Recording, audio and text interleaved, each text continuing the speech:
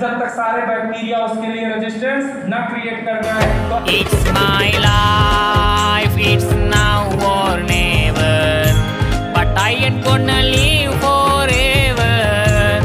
I just want to live